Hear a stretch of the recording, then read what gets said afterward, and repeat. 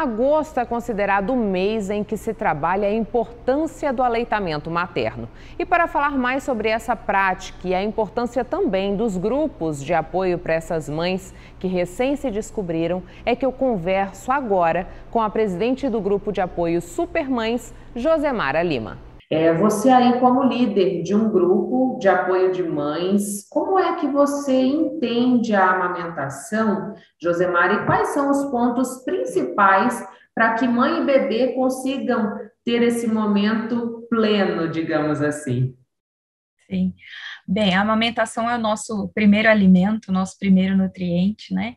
Então, assim, é considerado hoje o alimento mais importante do mundo porque realmente, né, tem esse valor incomensurável, porque nós é, temos ali no nosso, no nosso leite materno todos os nutrientes que a criança precisa desde o primeiro dia do nascimento, né, independente da via de parto, independente se essa criança nasceu a termo ou não, né, o leite materno, ele vai ser produzido, é, o que a gente chama de específico, né? Ele é produzido para cada fase do, do, do, bebê, de acordo com a necessidade que ele tem naquele momento. Então, desde o primeiro momento do colostro, que é considerada ali a primeira vacina do bebê, é, o leite materno tem uma extrema importância para a nutrição do bebê, para o vínculo mãe-bebê, ele é de extrema importância para a proteção da saúde dessa criança até a vida adulta, porque já existem estudos é, é, de corte, estudos super confiáveis, que mostram que o, o aleitamento materno influencia, inclusive,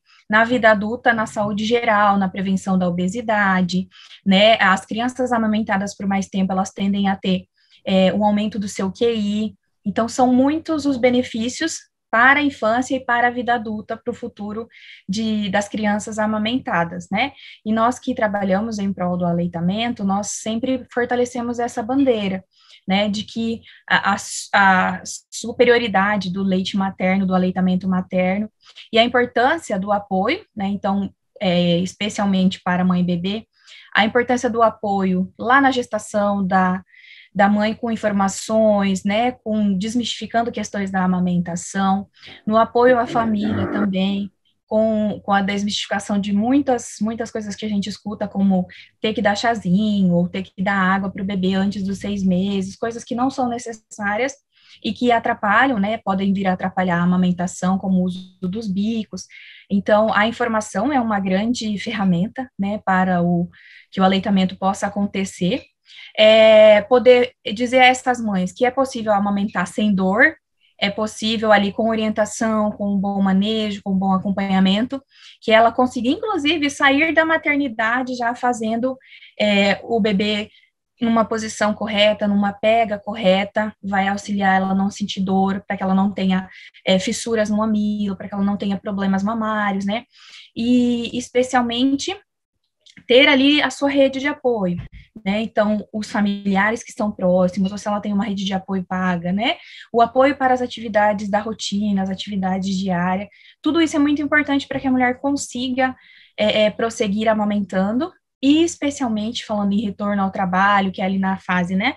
Algumas mães retornam aos quatro meses, as outras aos seis, dependendo do, do vínculo que ela tem, né? As, as mães que são é, autônomas ou que trabalham em outras áreas, às vezes tem mais dificuldade também dessa continuidade da amamentação. Mas também, né, o objetivo é informar que é possível manter a amamentação mesmo com retorno do trabalho, que essa mulher consiga ter uma rotina de extração, que essa família também esteja orientada para ajudar a dar esse suporte para ela. É, Josemara, quando a gente pensa, como você disse, né, é, quanto mais a criança é alimentada pelo leite materno, mais são os benefícios que ela vai ter no seu desenvolvimento e também na vida adulta. Mas a gente Exato. vê muitas vezes o julgamento social quando uma mãe resolve prolongar esse, essa amamentação. Né? Às vezes, até quando ela passa dos seis meses, que a gente tem o aleitamento obrigatório, já existe esse julgamento. Como lidar com isso? É, o, hoje, né, a Organização Mundial de Saúde, o Ministério da Saúde adota né, esta, até houve um reposicionamento, né, porque antigamente falava assim, isso até os seis meses e continuar juntamente com a alimentação complementar. Então, hoje a, a amamentação recomendada, então, tanto pelo Ministério quanto pela Organização Mundial de Saúde, até os dois anos ou mais, né, então até a forma de falar e de orientar as mães também muda, né? E é muito realmente questões culturais, né? Então, muita gente acha ainda que chegou seis meses, o leite materno já vira água, então ele nunca vira água em nenhuma fase é, é, ali da sua produção, né? Mesmo que a criança esteja com dois, três anos, ele continua produzindo aquilo que a criança precisa. Então, por exemplo, ele muda a sua composição. Até os seis meses, ele tem a composição necessária para o bebê naquela fase de desenvolvimento. Após isso, ele vai se reformulando também a cada necessidade. Então, quando a criança tem um resfriado, uma gripe, a, a, o corpo identifica e formula anticorpos através do leite materno, né? Agora, a questão, por exemplo, da vacinação contra a Covid, né?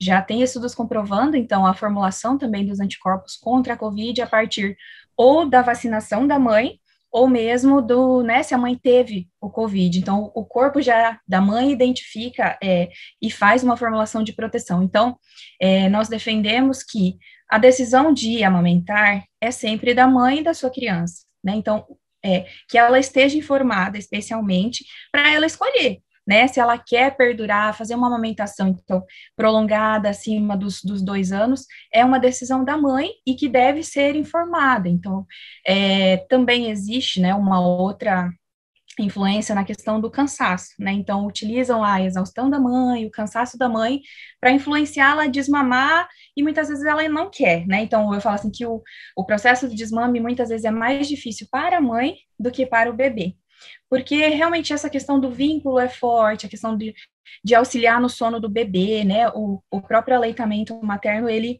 é, é, ajuda ali no, no momento, especialmente que a criança está pegando no sono, né, ter a, a, maior quantidade de hormônios que vão ajudar essa criança no relaxamento a ter um sono de mais qualidade. Então, assim, é, sempre colocamos os benefícios acima dos, dos, dos, malefícios ou ali dos prejuízos, né? Então, não vai deixar a criança mal acostumada, é, não vai gerar nenhuma dependência, pelo contrário. Estudos também já da neurociência comprovam que as crianças que são também amamentadas por mais tempo apresentam maior segurança e maior vínculo emocional, maturidade emocional. Então, é muito importante a gente falar destes benefícios quando a gente defende o prolongamento da amamentação e a sua importância. É, a gente está com esse, nesse ano, o Agosto Dourado, ele traz uma campanha dizendo que a responsabilidade por garantir a amamentação é de todos. Né? A gente falava um pouquinho dessa questão da volta ao trabalho da mulher, da questão da importância da família como suporte. De que maneira, é, Josemar, a família pode ter um, um, papel essencial nesse processo, além de não julgar, de não é, interferir nesse processo, né? Mas de, o que, que pode ser feito para facilitar a vida dessa mulher, principalmente nos primeiros meses do bebê? É, a, a, né, o prolongamento, a perduração da amamentação vai depender desses, vai depender desses diversos fatores. Então, a família, quem vai ser o apoio dessa mãe, quando ela retornar ao trabalho, precisa estar informada de, por exemplo, como eu devo é, ofertar o leite materno na ausência da mãe. Né? Então, a importância, por exemplo, da, né, seja do pai, da avó, ou alguma, algum familiar que vá ficar, tomar conta da criança, né? Então, de que forma que eu vou ajudar ela a poder continuar ofertando o leite dela sem que o bebê desmame. Então, a gente recomenda o não uso dos bicos, né? Então, hoje existem alternativas muito. É, a primeira alternativa delas é o copinho, né? Muita gente às vezes tem medo, mas treinar essa família também, né? Então, para o uso do copinho, para que a criança não insira os bicos ali, e aí gera uma confusão de bicos, gera uma, uma, uma influência ao desmame, se a criança conhece outro tipo de bico, né, ela acaba preferindo o bico artificial muitas vezes. Então, ensinar essa é família a usar a copinha, hum, porque é, é mais fácil. Isso. O, o movimento da amamentação trabalha muito mais músculos da face e, e, movimentos diferentes da língua do que o uso dos bicos artificiais. Então, é, também isso influencia diretamente, né? Então, o, o bebê, para amamentar ao seio, ele utiliza, gasta muito mais energia, utiliza muito mais músculos da face. Tanto que isso influencia no seu desenvolvimento também de mandíbula, desenvolvimento de arcada dentária, né, por essa diferenciação. Então, com a amamentação, ele utiliza muito mais mecanismos do que com os bicos artificiais.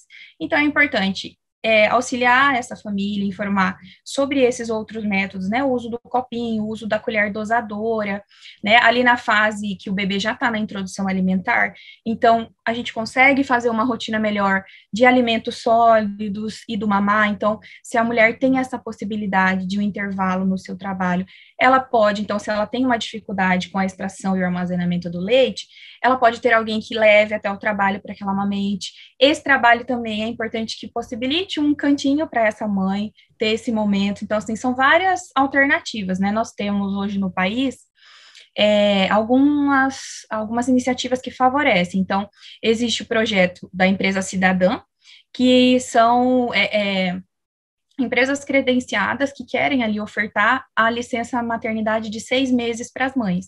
Então, hoje a gente sabe que isso acontece mais nos espaços dos servidores no público, né? Então, é, quem trabalha no âmbito municipal, estadual e federal já tem os seis meses de licença maternidade, mas poder garantir esses seis meses já vai facilitar a amamentação exclusiva também até os seis meses desse bebê, né? É, o, a estratégia Alimenta e Amamenta Brasil, então, promover dentro dos ambientes de trabalho espaços em que essa mulher consiga fazer uma rotina de extração de leite, que ela consiga armazenar o leite para ofertar para o bebê, ou que ela possa ter esses intervalos ali para conseguir amamentar uma ou duas vezes durante o período de trabalho, pensando assim, quem trabalha, né, período integral.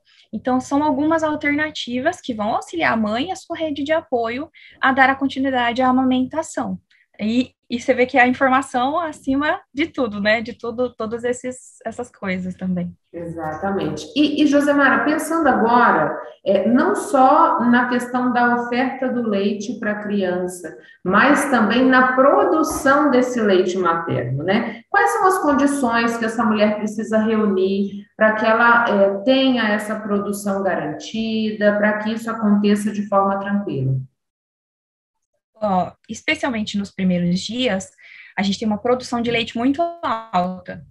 Então, é aquela fase que o seio da mãe está sempre muito cheio, né? Às vezes ela está amamentando de um lado e o peito está escorrendo do outro lado, né? Então, assim, os primeiros 30 dias, a produção é extremamente alta, a gente fala extremamente alta, porque o corpo vai entender a regularidade disso com o tempo. Então, por isso, importante é a livre demanda para manter a produção. Primeiro, a primeira situação é manter a livre demanda, né? Então, quanto mais o meu bebê mama, mais o meu corpo entende que eu preciso continuar produzindo leite materno. Por isso também os bicos artificiais acabam influenciando, porque quando o bebê não está no peito e utiliza outro acessório, o corpo entende, olha, não tem ninguém com fome aqui, não vou produzir nada, e acaba reduzindo a produção do leite materno. Então esse é um ponto importante, a livre demanda a mãe estar em condições é, emocionais, né? Então, o ambiente que propicie ela alguma tranquilidade, apoio, é, reduzir estresse e exaustão perto desta mãe, né?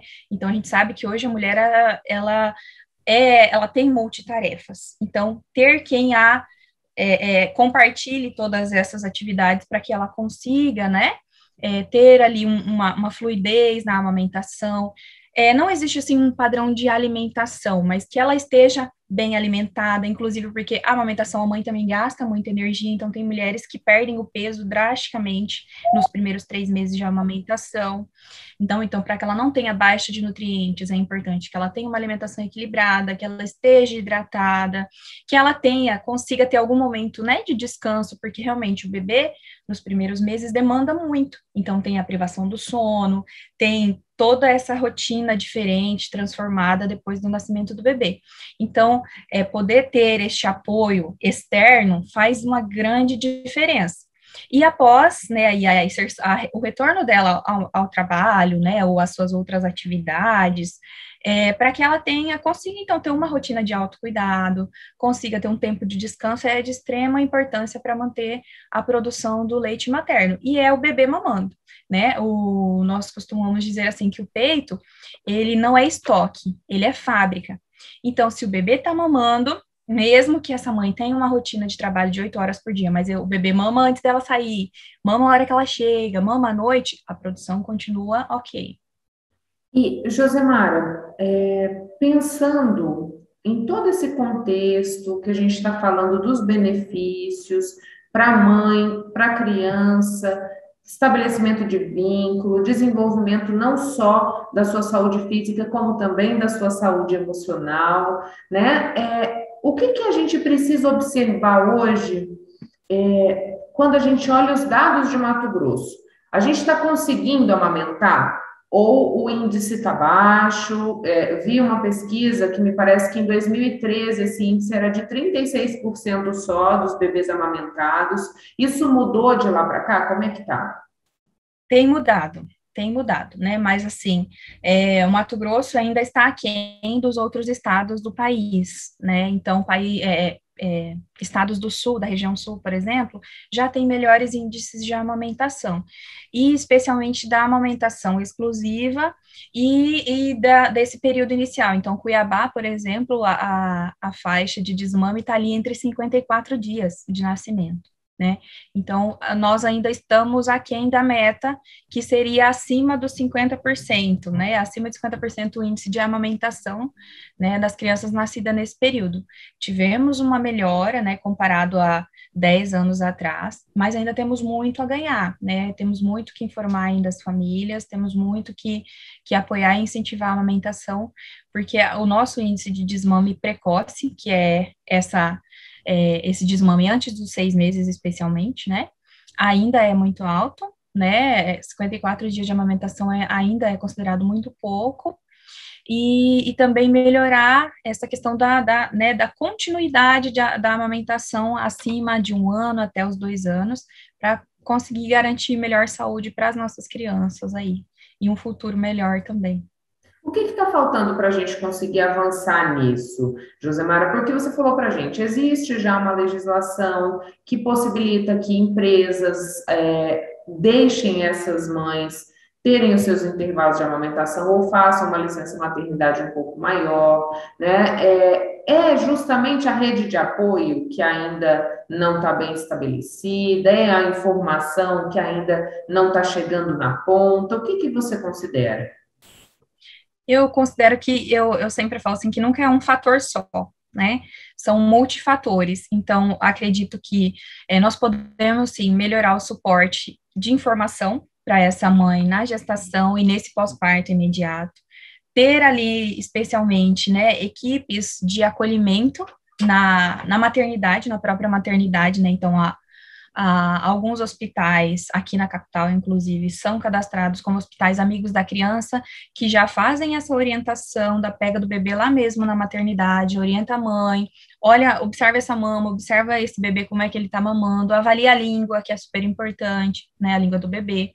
Então, esse suporte ali no pós-parto imediato é de extrema importância, né? Esses primeiros 15 dias, poder observar essa mãe, o trabalho do, do, dos bancos de leite também é incrível, porque eles também dão esse suporte, então, fortalecer essas ações positivas, né? Fortalecer essas redes de apoio, então, por exemplo, as unidades básicas de saúde, né, que atendem a maioria das, das né, dos pré-natais, dos pós-parto, então, nessa primeira consulta de pré-natal, que ela tenha informações atualizadas, né, que o profissional que vai atendê-la, o pediatra ou o enfermeiro que vai fazer as primeiras orientações, esteja informado, eu acho que precisamos muito é, é, reduzir os mitos sobre a amamentação, né? Então, essa questão de que leite fraco, esse leite não está sustentando esse bebê, tem que inserir fórmula. Acho que é, é muito cultural ainda, especialmente aqui no nosso estado. Então, a gente precisa reduzir esses mitos sobre a amamentação. Precisa naturalizar a amamentação em público, então a criança vai mamar quando ela tem vontade, quando ela tem fome, e é uma decisão da mãe se ela quer se expor, né, em local público ou não. Então a gente precisa respeitar também esses espaços e o fortalecimento dessas políticas, né, para que todas tenham acesso a elas. Intervalo e a gente volta já, não saia daí.